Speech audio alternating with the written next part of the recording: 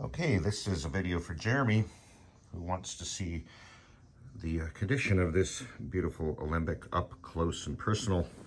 Um, Jeremy, you're most interested in the neck. Let's see if I can show you the uh, how true it is. So that's looking straight down. We'll go down the side. Um, pretty low action right now. You can see there. It's uh, really good. Not as raised just a little bit there. Let's see. Let's try this. This is never done something quite like this. There we go. There's the other side. Um, okay, so there's the neck.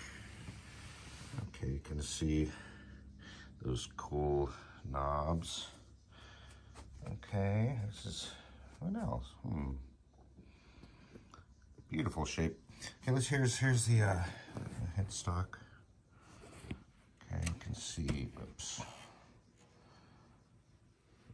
In the back.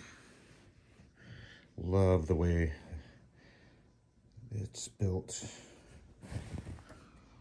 Serial number's up there. Light's bad, sorry, can't see it. Serial number. No, it's not up there. It's another spot. Anyway, let's see what else. Going down the neck. You can see it's it is no twists. Okay. There's that um sandwich, you know, the the walnut back and front, the maple sides, uh, myrtle wood, maple, walnut, myrtlewood, maple, walnut.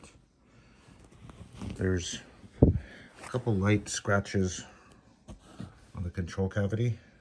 A little hard to see.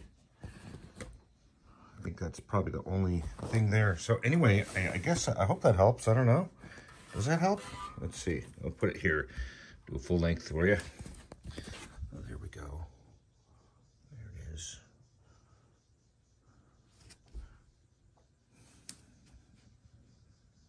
Um, sterling silver on the logo there. I didn't describe that. That's a nice little touch. So yeah, hope that helps, Jeremy. Okay, we'll go ahead and put this on YouTube and make it available to you. And you let me know if you have any questions at all here. I'll get the bridge a little better too. Um, you probably know this, but there's there's this here and here are the two screws.